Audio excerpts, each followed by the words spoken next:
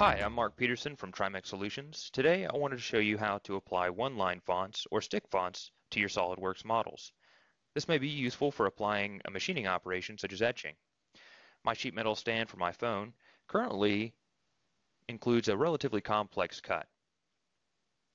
And it occurs to me that this laser path for this cut might be pretty long and therefore expensive. I could check that by expanding my sheet metal cut list folder and going to properties. And as we can see here, cutting length inner is almost 150 millimeters. Another option for doing something similar to this might be to use stick fonts. So also press this library feature part and create a sketch on that same face.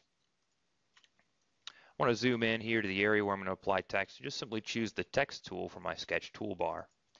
I need I can select a curve to apply this text to. I have a predefined one here. I'll just type TriMech in the window. Now from here I can flip my text and orient it uh, centered or uh, what have you, but uh, ultimately what I'm interested in is the font that's being used for this text.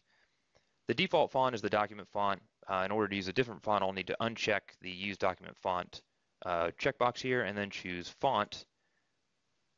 And I can choose any font that's uh, been installed in Windows.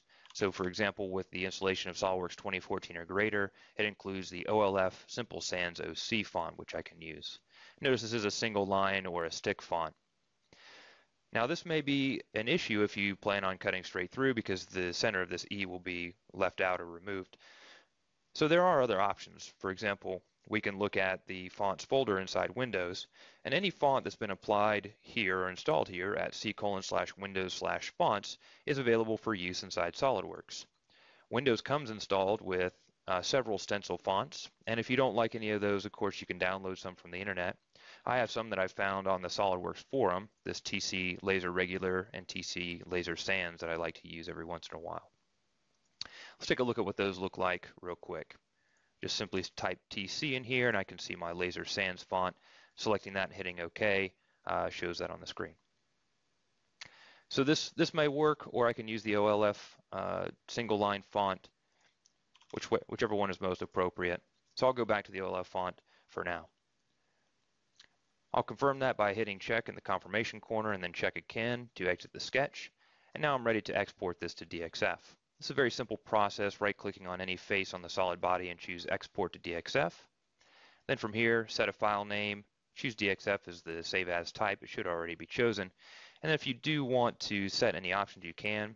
So here you can use the, you can select different versions for the output. You can enable custom mapping. So if you want sketches to all be output to a different color, you can do that uh, using this enable button. And there are several other options that you can run through. I'll just click on Save using the default options here. And in my Property Manager, I'll need to, to set the radio button for sheet metal, selecting geometry, and of course sketches here is appropriate. When I confirm that, the DXF will be processed, and then I'll be presented with the DXF cleanup window. This is a very minimal window where I can zoom in on different features inside the DXF, and I can remove specific entities, for example, the uh, the line that I use to locate the position of my text. But it is rudimentary, so when I do save this, I may want to open this up with another 2D tool, for example, DraftSight. DraftSight is a free 2D tool that you can download directly off of the SOLIDWORKS website, and it opens up DXF and DWG files. And from here, I can drag and manipulate my view, rotate things around, uh, box select different text or items, change the layer or the color, for output to my CNC laser or water jet.